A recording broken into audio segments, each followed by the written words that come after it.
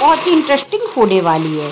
आज हम जो मसाला मूंग बड़ी बनाने वाले हैं तो इसके लिए आपको ना तो धूप की ज़रूरत है, आप कभी भी पंखे में इसको बना सकते हैं। साथ ही स्पेशल मसाला शेयर करूँगी, जिससे ये आपकी जो मूंग दाल की बड़ी है ना मार्केट से भी कई गुना अच्छी बनकर तैयार होंगी और आप इसे फटाफट बना के तैयार कर लेंगे। आप इन्हें एक बार बनाइए और ये दो से चार साल बिल्कुल भी खराब नहीं होगी। सारे टिप्स एंड ट्रिक के साथ आज हम ये रेसिपी शेयर करेंगे तो चलिए शुरू करते हैं आज की interesting C recipe welcome back to my channel.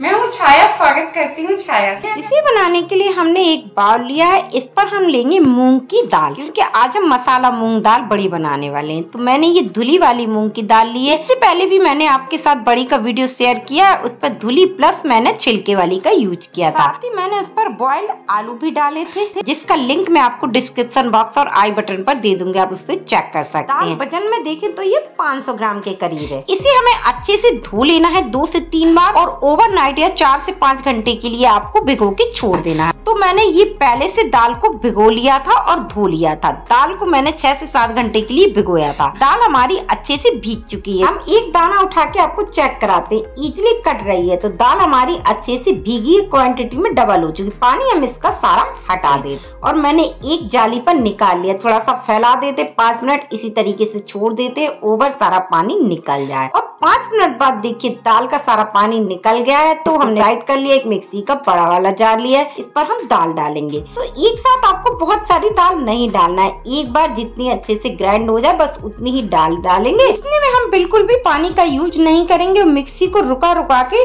उस करते हुए इसको हम पीस लेते हैं। लेकिन एकदम फाइन हमें पेस्ट नहीं बनाना है। और ये देखिए, दाल हमने इसको पीस लिया है। तो मैं आपको खोल के दिखाती हूँ कि ये जो दाल है ना, हमारी एकदम फाइन नहीं है। हाथ से हम देखेंगे तो हल्के इसमें रवा आप इसका टेक्सचर देख पा रहे हैं। तो इधर मैंने एक बड़ा सा भगोना ले लिया है। उस पर हम ये दाल का जो पेस्ट है ना, ये हम डाल देते हैं। सारी दाल हमने इस पर डाल दिया है और जो सेकंड बैच की दाल है, वो भी हमने इसी तरीके से पीस ली है। तो दाल मैंने सारी पीस ली है। इसको अभी मैं साइड पर रख देती हूँ। इधर मैंने एक मिक्सी का छोटा वाला जार लिया है। कुछ मसाले लिए दो इंच अदरक का टुकड़ा छील लिया है, काट लिया है और तीन हरी मिर्ची। तीखा आप अपने हिसाब से 20-25 काली मिर्ची, एक टुकड़ा दालचीनी, दो हरी इलायची, पाँच से छह सूखी लाल मिर्च, छह लौंग लिए। सारे को हम जार पर डाल देते हैं। एक बार आप इस मसाले को बनाकर बड़ियों में डालिए तो देखिए कितना गजब का टेस्ट आता है। सारे मसाले जार पर डाल दिए हैं। एक छोटा चम्मच जीरा डालेंगे, एक छोटा चम्मच इस पर सौंफ डालेंगे, जो अचार वाली होती है। दो चम्मच हम इस पर सूखा वाला जो धनिया होता है, वो भी ऐड कर देंगे। और जार को हम बंद कर देते हैं और इसको हम पीस लेते हैं। लेकिन हमें इसको कोर्सली पीसना है। पाउडर नहीं बनाना है। ये देखिए, ये हमारा जो मसाला है, रेडी हो गया है। आप इसका टेक्सचर देख पा रहे हैं कि दाने भी आपको दिख रहे हैं। इसको मैंने साइड पर रख दिया है। इधर मैंने दाल को ले लिया है। आधा चम्मच मैंने हींग लिया है। हींग मेरी स्ट्रांग है। यदि आपकी स्ट्रॉन्ग नहीं है तो आप ज़्यादा यूज़ कर सकते हैं। बनाया हुआ मसाला जो था ना,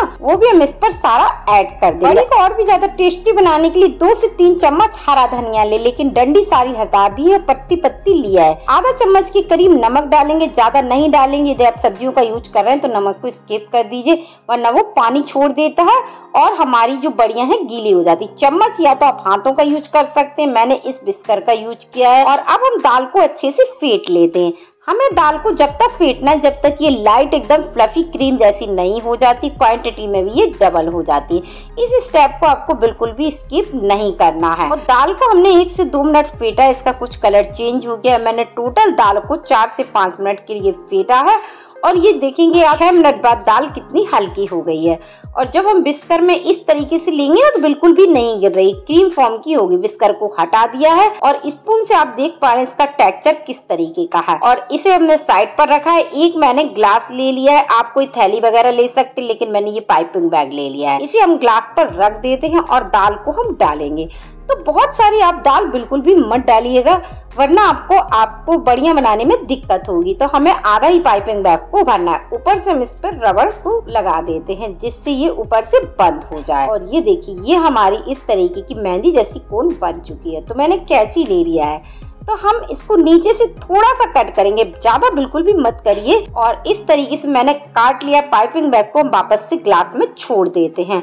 तो इधर हमने ले ली है प्लेट आप चाहें तो जो पॉलिथीन होती है, उस पर भी लगा सकते हैं। इसका वीडियो मैंने पहले डाला इसका लिंक मैं आपको डिस्क्रिप्शन बॉक्स और आई बटन पर दे दूँ। हल्का सा हमें ऑयल लगाना है। बहुत ज़्यादा नहीं, बस हल्का सा ग्रीस करना है। तो सारी प्लेटों को आप इसी तरीके से ग्रीस कर लीजिए। इधर मैंने पाइपिंग बैग को उठा लिया है और हमें हल्का सा इसमें ड्रॉप जैसा रखना है। तो मैं छोटे साइज़ की बड़िया बना रही हूँ।